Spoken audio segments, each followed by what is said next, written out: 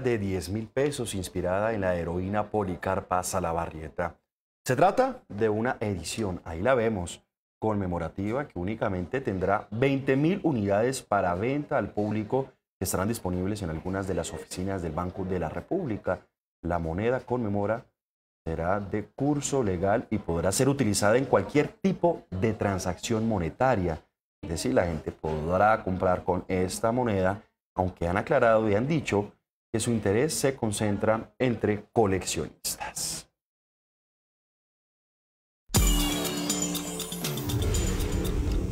Pues precisamente queremos hablar de este tema, siendo las 11 de la mañana 21 minutos, y por eso hemos invitado a Jorge Becerra León. Él es presidente del Consejo de Fundadores de la Fundación Numismáticos Colombianos. ¿Cómo me le ha ido? Bienvenido. Eh, buenos días, eh, Juan. Un placer estar con ustedes.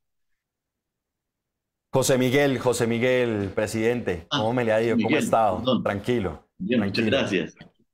Bueno, yo quiero primero que todo preguntarle a usted en qué consiste esa fundación en la que usted es presidente, la Fundación Numismáticos Colombianos, que me genera un poco de curiosidad.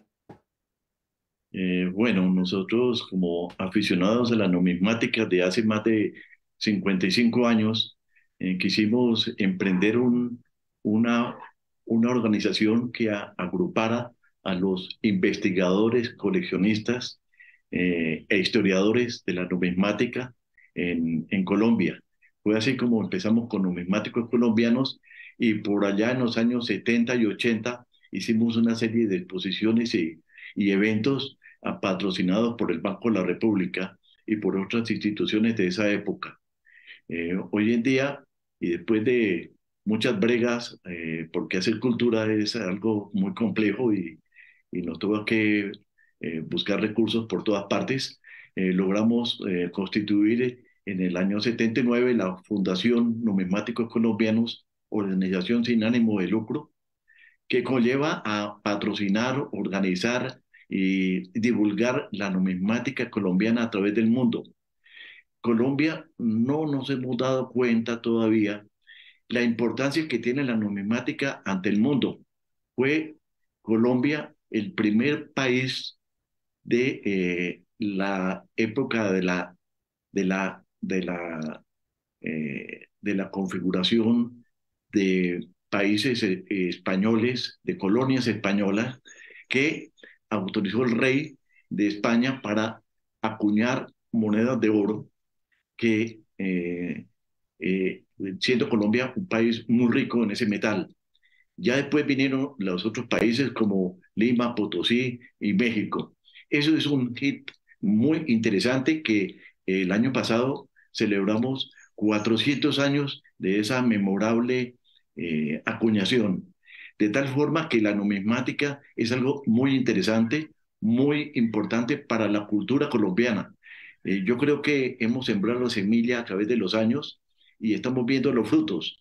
Tal es que el año pasado realizamos la tercera convención eh, de historiadores y numismáticos en Cartagena, donde vinieron 22 países y donde tuvimos alrededor de 260 investigadores de los diferentes países que nos acompañaron. Qué, interesante.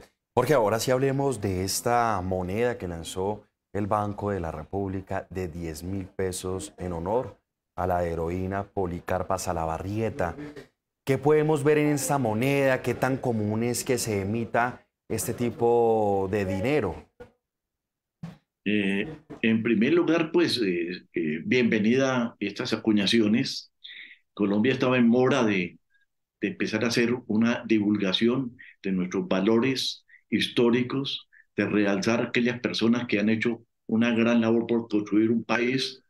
Y vemos otros países como en el caso de Perú, que la numismática ha sido muy importante, o México, o otros países de Europa, que hacen series eh, con mucha continuidad, lo que hace que la divulgación de la numismática y la cultura eh, se, se, divulgue y se propaga eh, por todos los, los medios. En este caso, ya se habían sacado varias monedas, cuatro o cinco monedas, con otros motivos de héroes, con el tema de la, del Bicentenario de la Independencia, con el tema de Nariño y de la, y de la, de la monja mm, antioqueña que dio la madre Laura, que dio uh, su vida a través de muchos años eh, dedicándose a, la, a los pobres y a los necesitados. Esos valores hay que realzarlos y qué más que en una bella moneda. Eh, afortunadamente, estas últimas acuñaciones hemos tenido piezas de una alta calidad porque realmente si vemos otros países como Perú, eh, han sacado piezas muy bellas, eh, inclusive en el circulante. Falte a ver que el día de mañana el Banco de la República y el Senado de la República, que es el que autoriza finalmente nuevas acuñaciones, sacáramos nuevas emisiones con monedas atractivas. Es el gran negocio que el banco nunca se ha dado cuenta, porque se divulga a través de todo el mundo dónde estamos, eh, en qué posición dentro del mundo. Si usted va a Europa, hay muchos países donde ni siquiera sabe dónde queda Colombia.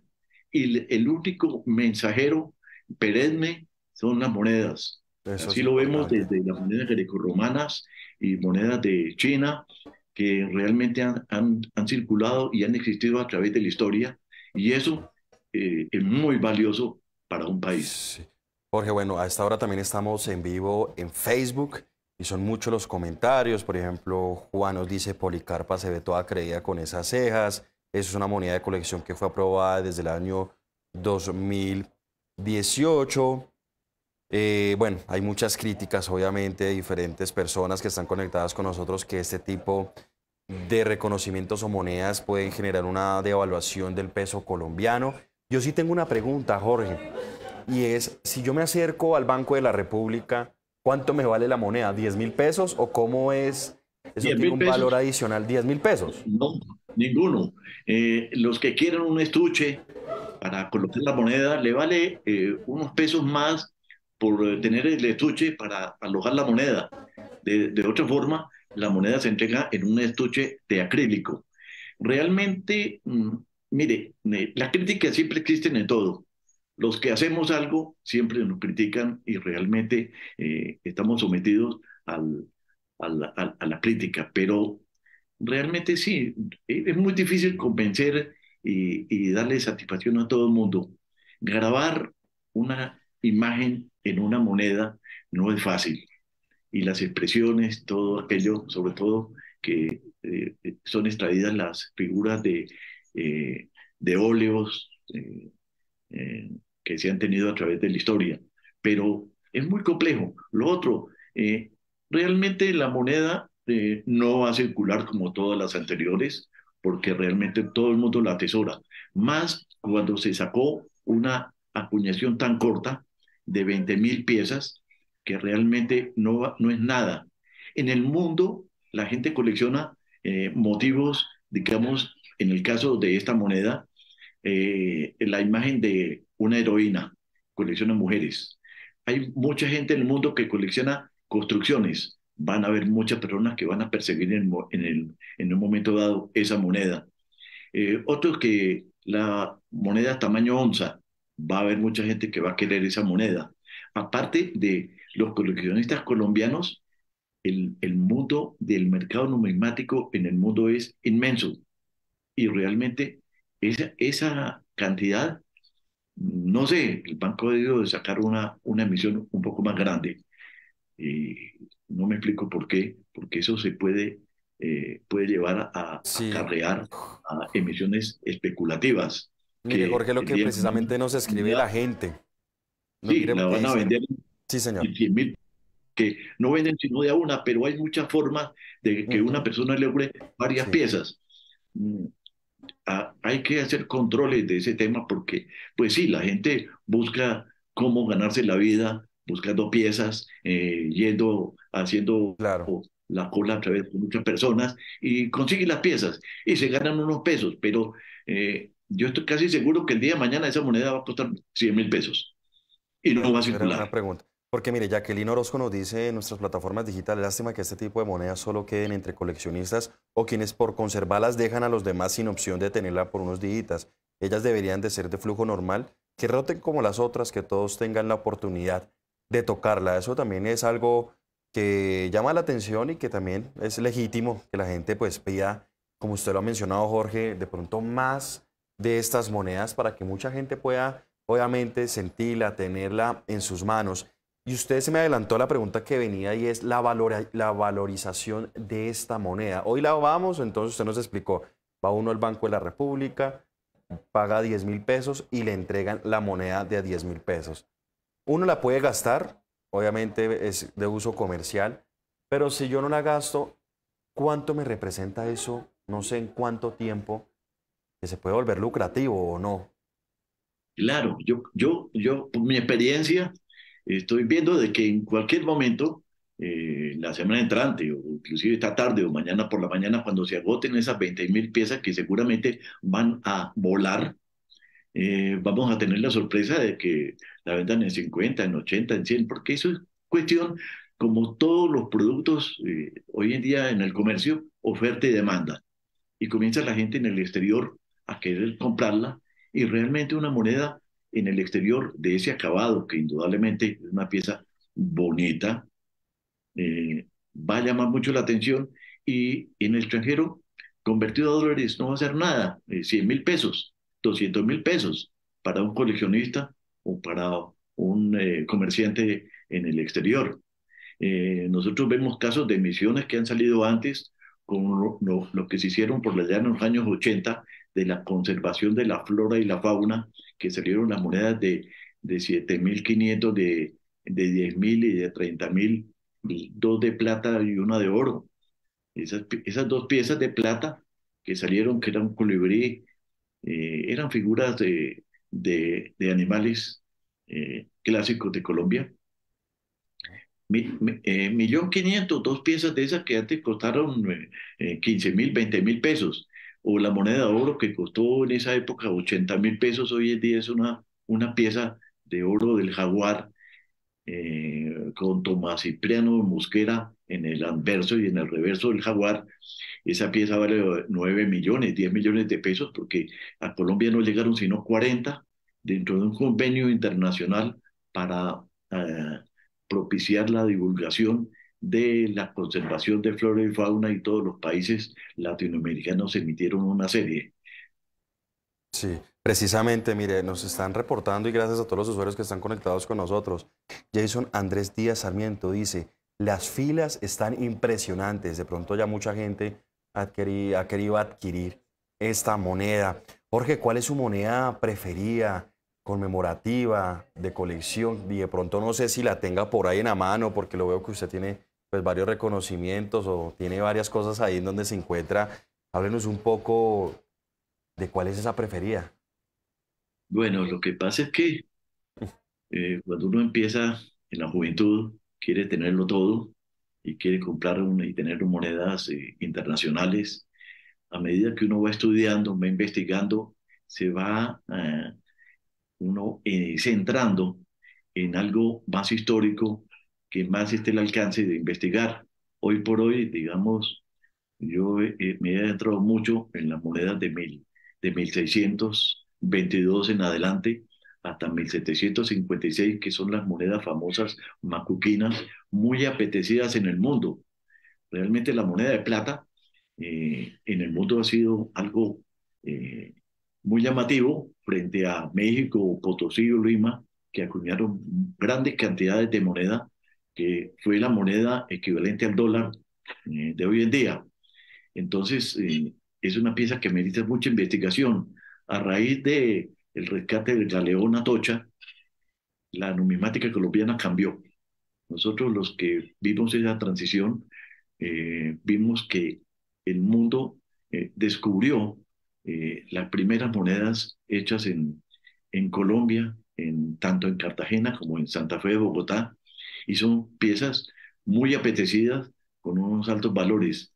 Entonces termina uno es eh, casi que no teniendo las piezas, sino buscando la forma de conseguir imágenes y de investigar en los archivos de la Nación o en los archivos de, de, de las Indias en, en España para transmitirle a las futuras generaciones el valor histórico de la numismática, de las monedas y también de los billetes a través de, de, de artículos.